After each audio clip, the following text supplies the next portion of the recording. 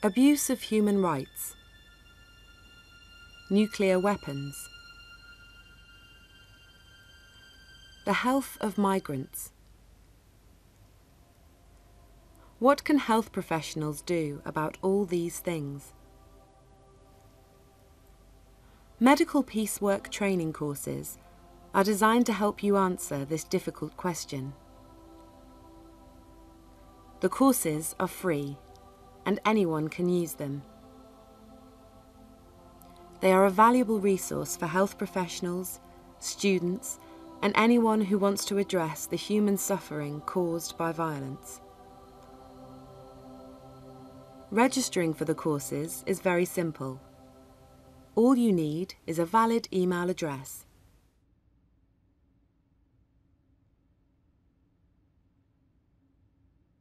The whole course is very easy to, um, to manipulate even if you're not great on a computer. I like the fact that it's online. Uh, it means that if you're busy and you've got, you, you it's difficult to fit in uh, educational work, you can just do it as and when you want to. Uh, I think the kind of multimedia aspects of it are really good. Uh, very easy to see what you're doing and pick and choose the bits that you want to look at. There are all sorts of different ways in which you can learn from it and you can choose it to fit your own cho choose bits of it to fit your own learning style. There are seven online courses. Each one covers a different subject, from war and weapons, health and human rights, to refugees, discrimination, and problems at work.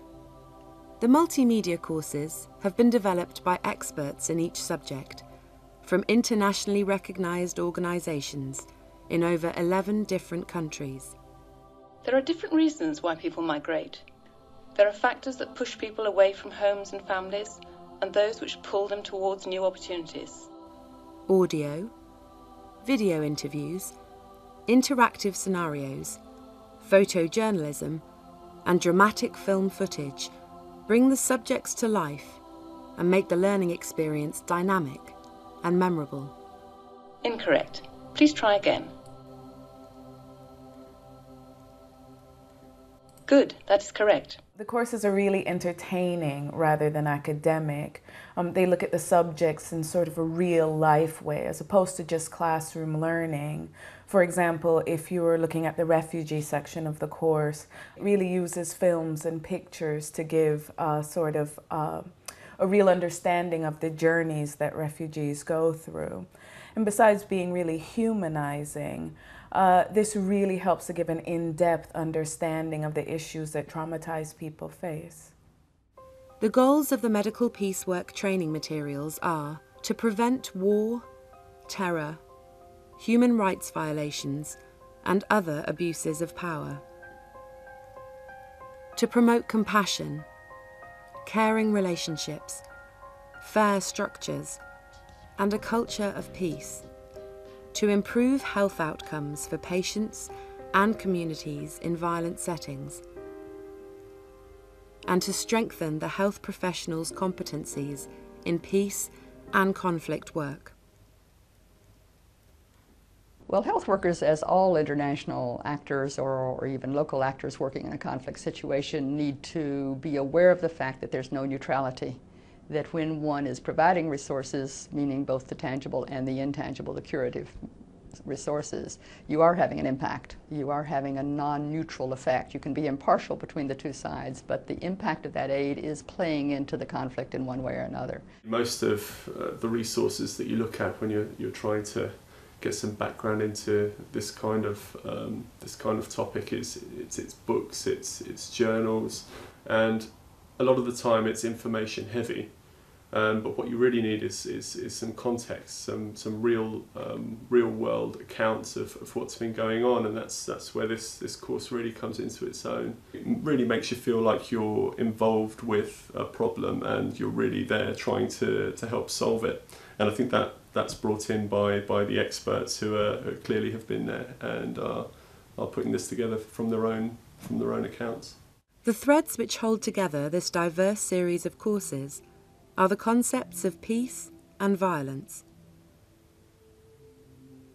The definitions of peace and violence are based on the philosophy of Johan Galtung, in which he describes the two states existing in relative proportion to each other. Well, the equation I use in the interconnection between health studies and peace studies would be that violence is to peace what disease is to health. The opposite of peace is not only war, but violence, which can exist in a number of different forms. Professor Galtung conceives peace as the capacity to handle conflict in a creative and empathic way. The concept of peace, expressed as a negation of violence, takes into account everything from nuclear weapons to verbal insults. Professor Galtung's definition of violence is based on the violation of basic human needs. Through his extensive research interviews, he found the same basic needs were important to people all over the world.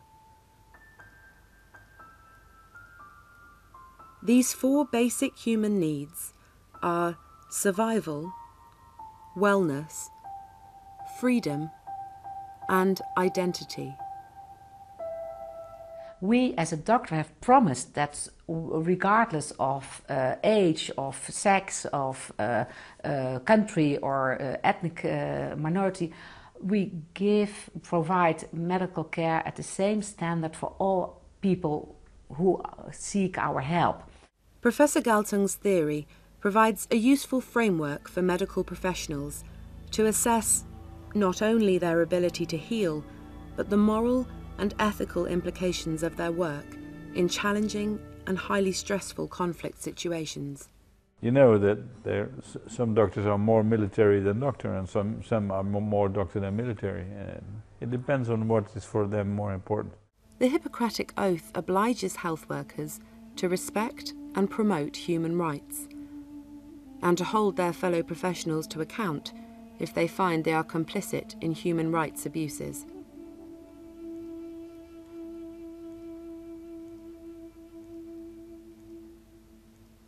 in a way, it's inseparable from our diagnosis of ourselves, how we see ourselves as doctors.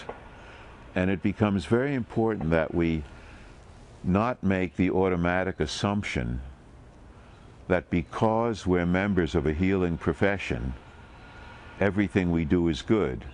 One example of health professionals acting together against unimaginable death and suffering is their response to nuclear weapons. The, the doctor cannot ignore the issues of peace and war. Because if the doctor is not going to ignore pathogens who afflict disease, there's no greater pathogen than war. Another example of an intervention by health professionals is the use of medical data as evidence of the unacceptability of some weapons. I um, was in a taxi leaving London airport to, to drive into London and I saw a massive sign in front of me next to the road which had a photograph on it that I had taken in one of our hospitals and uh, this photograph of one of my patients being used in the campaign and I think that's the moment I actually realized that maybe th there is more importance in working on, on, on prevention than on, on treatment. I certainly felt philosophically, if you like, more comfortable to use my surgical uh, experience to be a, um, a better advocate for a ban on mines. The courses cover the challenges of working in a violent context and of working with people who have experienced extreme violence as well as dealing with the added stress, for health workers, this work may involve acquiring and developing knowledge and skills outside of their regular clinical training and practice. It is also necessary for health workers to take care of themselves. The work can provoke strong feelings, as it involves empathic listening to stories that are sometimes tragic and it can be difficult not to feel personally involved in the events described.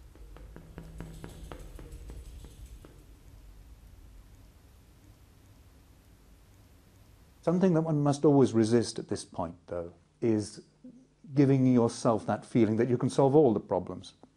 And very often it's important that you say, well, look, these are hugely complicated things that you're telling me. Um, I'll do my best. I'll try. Let's work together through this. Um, and in that way, one acknowledges one's own feelings, one's own limitations, and helps the person uh, as much as one can. Uh, good luck.